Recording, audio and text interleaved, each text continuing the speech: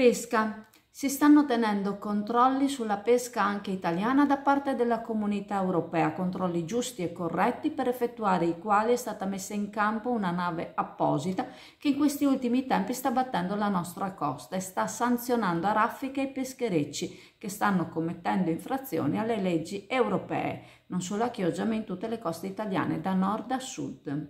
Il problema è che non tutte le direttive europee sono state trasmesse capillarmente alle varie federazioni della pesca, qualcosa sembra sia andato smarrito nei meandri normativi. C'è quindi confusione e ci sono anche i soliti scaricabarile che vedono andare di mezzo sempre l'ultima ruota del carro, i pescatori. Direttive che sono state, sembra, recepite in modi diversi dalle stesse capitanerie di porto, tanto che Apparentemente quello che è accettato da una non sembra lo sia anche da un'altra e direttive che tra l'altro non prevedono alcuna tolleranza nelle misurazioni. I pescatori di fronte a sanzioni importanti che prevedono oltre al sequestro di reti e pescato anche la sottrazione di punti dalla licenza e dal plafond dell'armatore e un procedimento penale non sanno più quali siano le modalità corrette a cui si devono attenere.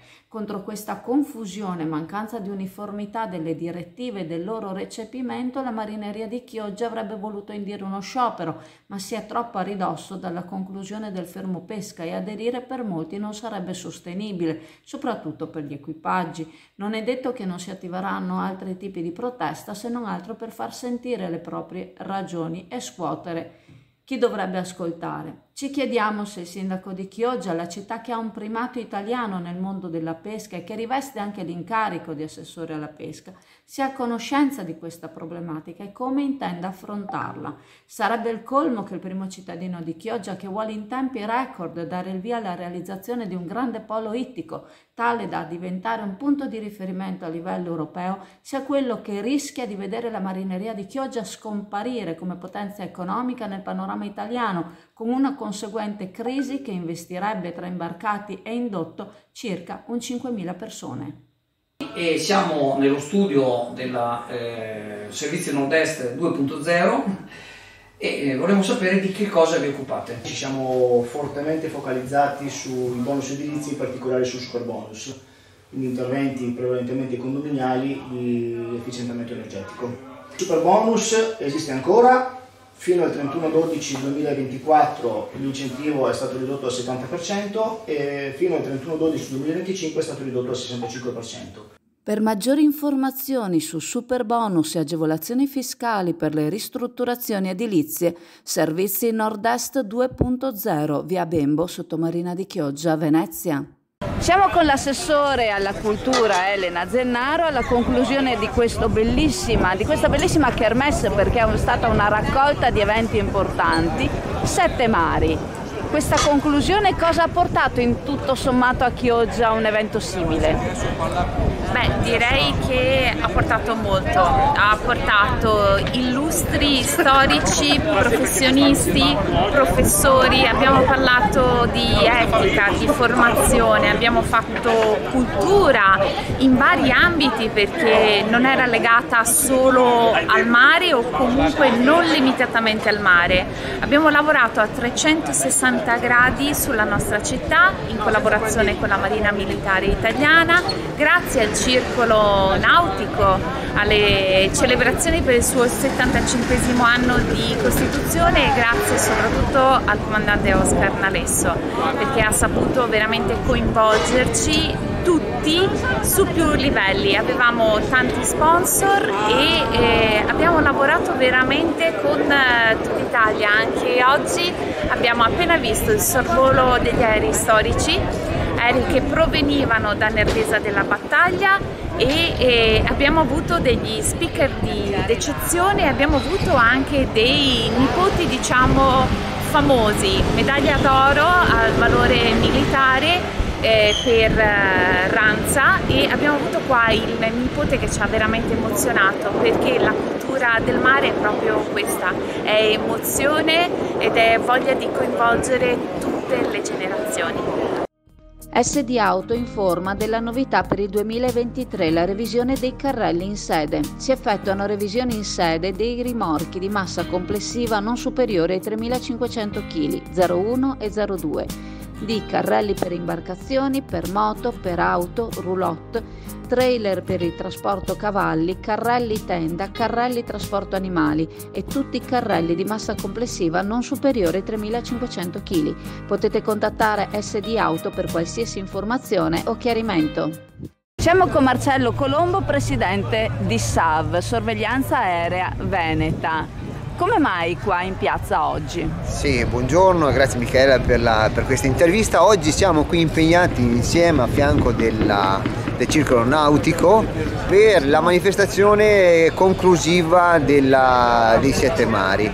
E oggi sarà una mattinata, anche se un po' ventosa, impegnata per i nostri droni che avranno il compito di monitorare, sorvolare e anche vedere di fare qualche ripresa per eh, i tre apparecchi mobili che arriveranno a fare il saluto con i fumogeni nella, alla nostra bella città e le nostre imbarcazioni che faranno concetto d'acqua il saluto e i ragazzi del circolo nautico che chiuderanno eh, gli allenamenti con un passaggio sulla piazza Vigo. Ecco, noi siamo eh, costantemente richiamati per questa attività di sorvolo e monitoraggio che è anche il cuore e fulcro delle attività della SAVO, Sorveglianza Aerea Veneto. Voi organizzate anche corsi per il brevetto patentino per la guida dei droni. Esattamente, abbiamo un'academy, credo sia una specialità tipica sola della SAV che organizza con una scadenza quasi mensile dei corsi per acquisire tutti i brevetti necessari per essere piloti autorizzati ENAC che va dal primo brevetto base a 1 a 3 che è un data entry, un level entry eh, per, nel mondo dronistico per passare poi alla 2 che è un po' più avanzato e all'ultimo allo specific per attività specifiche. Prossimo corso? Prossimo corso 1 2 dovrebbe essere il, attorno il 20 di novembre che dovremo chiudere l'annualità accademica 2024. Siamo, abbiamo appena terminato una 1 3 con ragazzi di tutta la regione Veneto perché ricordiamo che la SAV è una realtà della regione Veneto. Buongiorno, sono Roberto Pincerato, presidente di IODA, il tuo consulente assicurativo. Siamo presenti in Mirano, Chioggia, Orbassano, Torino. Visita il nostro sito www.iodabroker.it. Dunque, eh, non, non, serve neanche guardare i telegiornali, eh, ma anche solo guardando i social arrivano in continuazione immagini, riprese di disastri in tutta Italia.